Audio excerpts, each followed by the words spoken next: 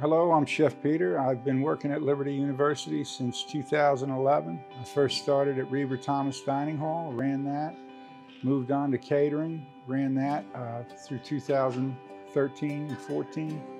Uh, then I came over to retail, and I've been doing that ever since in Montview Student Center. I started through an apprenticeship program at a French restaurant in Washington, D.C. Um, I never went to culinary school, but the lessons I learned there under Chef Francois were uh, carried me through and you know just really gave me a great foundation.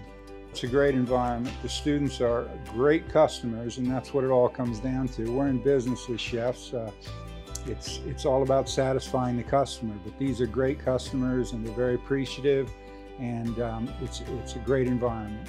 I admire him as a good person. He taught me a lot about cooking, chefing. He taught me about backstocking the food in the freezers. He always willing to help somebody, follow the rules. He's a good guy.